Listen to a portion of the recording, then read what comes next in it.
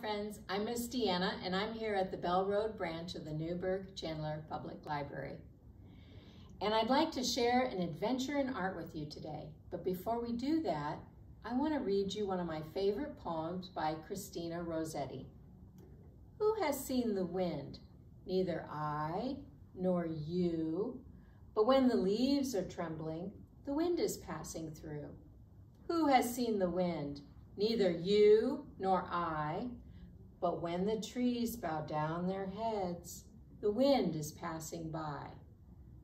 Let's think about that a second.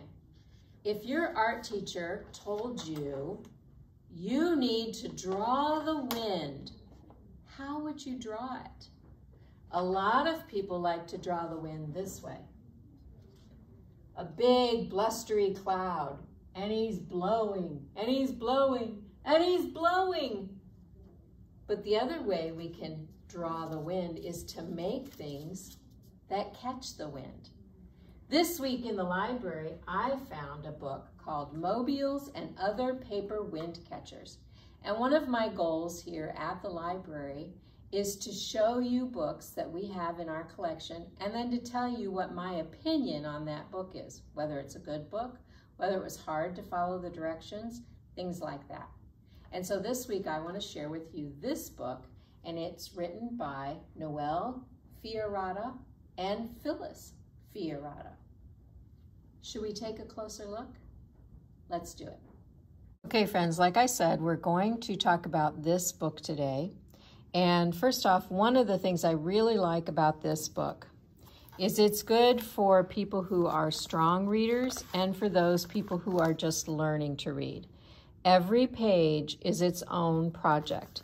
It gives you lots of clear pictures on one side, some written directions, and different steps or things that you can do. But if you don't read, or if you are just learning to read, I think just looking at this book is going to give you a lot of really great ideas. So one of the ideas in the book that I liked were these two right here. On this side, it's called loops, and on this side, it's called rings. And I have made uh, a couple of these. And you may have seen these hanging behind me when we were filming earlier. This is the single loop, and this is the double loop. What's great about making these windmobiles is that a lot of the stuff you're going to have in the house. So we need some basic supplies like markers, glue, a stapler, tape. If you have them, you can use uh, tape instead of glue, or you can use a stapler instead of tape, but these are interchangeable. Lots of string or thread or yarn, um, scissors, scrap paper, and then you can also use straws, or sticks or paint sticks or popsicle sticks, whatever you can find in your house will work. Some extra things, if you have them, that you can add just for fun would be fancy paper, like some colored paper, wrapping paper if it's stiff enough. These are pipe cleaners, maybe some buttons, pom-poms, crepe paper, or even some leftover ribbon. All of these can be added too, but you don't have to have them. It's just something you can do for fun. So back to our spirals. To make the single spiral, you need one short paper,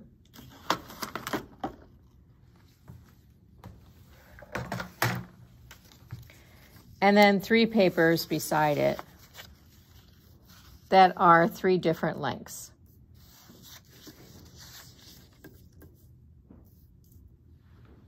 And you start with the shortest one in the middle, and you're going to either tape or glue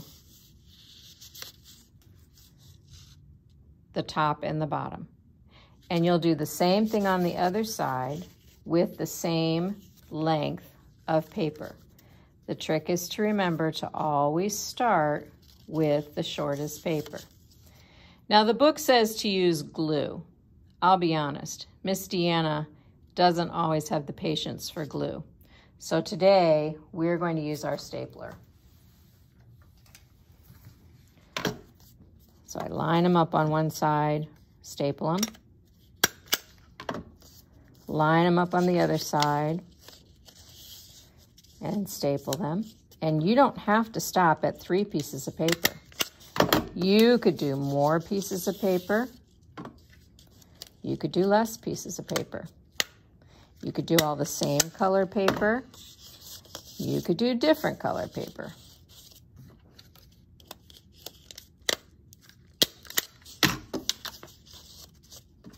And then when you're done, especially if you make a bunch of these, you hang them on the string and they will catch the wind and they will go around in a brightly colored circle. Now I've only done one side, but when you do both sides, it will look like this. To do a double one, it's the same process, except instead of starting at the ends, you find the center of all the papers Put that in the center of your middle paper. Remember, start with the shortest paper. And then you create these double rings. And this will also spin in the wind.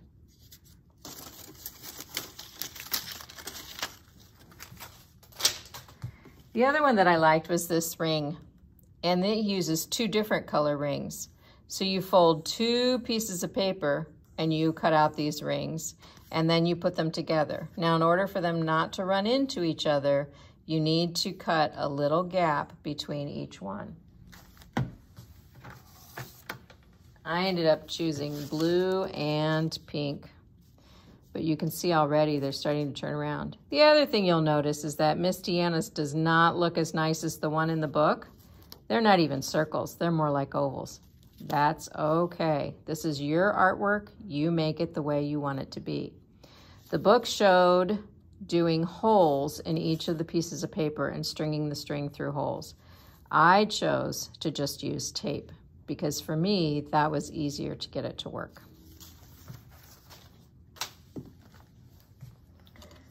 Okay, some of the other projects in our book. This one I thought looked really cool. And I followed the directions exactly and I did it twice, but I couldn't get it to work. It's supposed to spread apart like a web from top to bottom, but mine just didn't look right. So I kind of gave up on that one. But you could check out the book and you could try it and see if you could get it to work. Lots of good ideas on just using paper to make a windmobile. Now the windmobiles that you often see will have like a straw or a piece of paper or something stiff up here and it hangs down. And the book takes you through from a single to a double to crisscross to triple to zigzag and ladder, and it just gets more and more complicated. I'm a beginner. So I really liked this butterfly that they had here, but I didn't think I wanted to tackle the triple just yet. So I went back and I tried to do the double. And I took my strips of paper and I looped it like they said. Again, now, because I'm impatient, I ended up using a tape and stapler because I wasn't patient enough to wait for glue. And then I took my little pipe cleaner. You could use a piece of ribbon. And I made my little butterfly. Okay. Not as cute as what's in the book, but I'm pretty proud of it. And then I put it all together for my double mobile.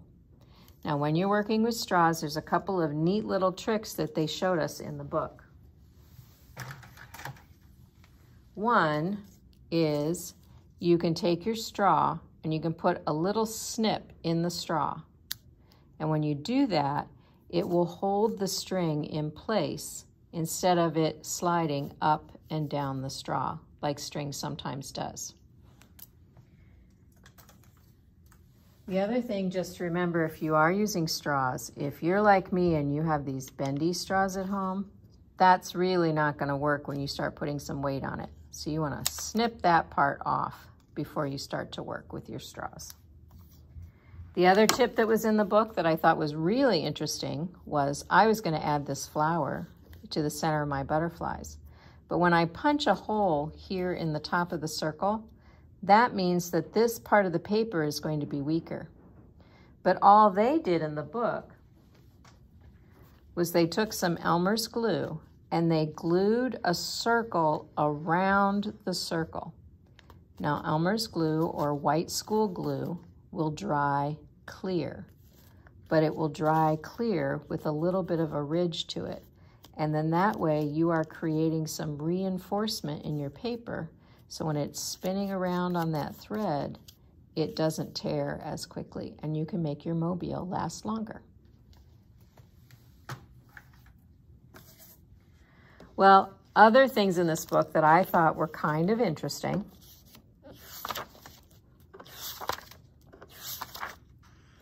was the way that they did different shapes on the top, like a star. This one, they took the ladder design, but they ran zigzag through it to make a Christmas tree. Sometimes you can use mobiles to tell a story. This one uses something different on top. It has a twig that you can get from outside. You could even, if you wanted to, hang some live flowers on this or some live leaves. That might be kind of neat. This one uses a shoebox. And then this person has decided to tell the story of their family by hanging pictures of their family below it. A hoop or a hanger are also good things that you can use to hang your mobiles on. But mostly I liked this because it just gave me lots of really good ideas.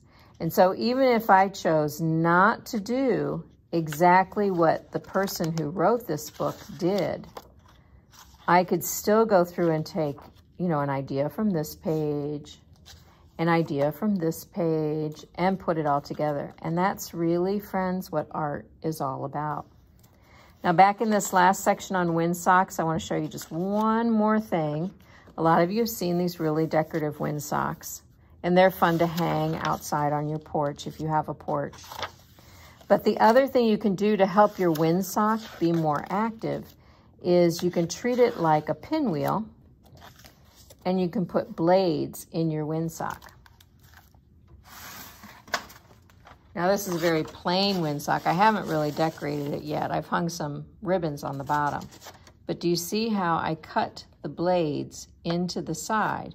So those blades are gonna catch the wind and help turn my windsock around even faster. A quick tip, any work you do on your windsock, you want to do it while the paper is still flat. So attach your things on the bottom, cut in your blades, and then put your windsock, and decorate it, color it, give it, make it look more interesting than Miss Deanna's here, and then put it all together at the end.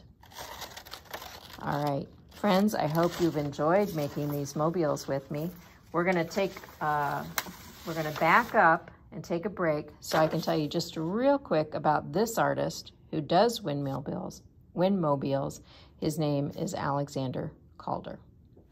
So now we've learned some ways to make wind catchers, but let me also remind you there are things that you can see around you if you're imagining the wind. So close your eyes for just a second. What are things that show you the wind? Maybe a kite, maybe a flower bending, maybe a paper bag rolling across the street. All of these are things that show you the wind. And there's an artist, his name is Alexander Calder. And Alexander Calder did a lot of sculpture, but his sculpture didn't stand still. His sculpture moved, and it could show the wind. Some of his sculptures were outside, and some of his sculptures were inside. Now I know this is hard to see this picture, but this is Mr. Calder installing one of his mobiles. And he would make them out of metal and bright colored wire pieces. This is one that's down on the ground. This is one that doesn't move that's down on the ground. And this is one that's hanging from the ceiling. And even though these would be inside, they would be perfectly balanced. But the, the slightest little drift of air inside a museum or a business where they would be hanging would cause those brightly colored metal pieces to move. I'll include a link to some of his work in the description. And if you want to, you can look there, but you can also put his name in your search engine, follow it with the word activities, get an adult to help you, and then you can find other ideas for copying his work or getting ideas from his work. All right, now normally when we say goodbye, I say it like this. We wave goodbye like this. We wave goodbye like this. We clap our hands and stomp our feet. We wave goodbye like this. But we're going to do it different this time. We're going to pretend that we are those crazy windsocks that you see outside car dealerships and firework places. You know the ones where their arms and their heads are going all over the place. So we're gonna go to the right, and then we're gonna go to the left, then we're gonna go down, and then up. Are you ready? Okay. We wave goodbye like this. We wave goodbye like this. We go down low and back up high. We wave goodbye like this. Thanks for visiting. Bye for now.